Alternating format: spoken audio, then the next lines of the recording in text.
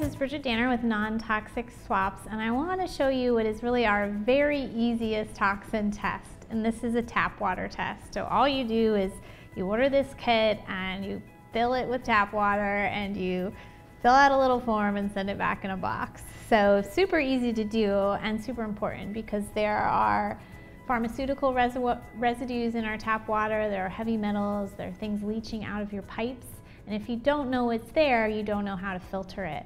So I'm running this as a before test on our water in our new home. And then I'm gonna get a filtration system based on the test and then I'll retest. So guess don't test, know what's in your water, protect your health.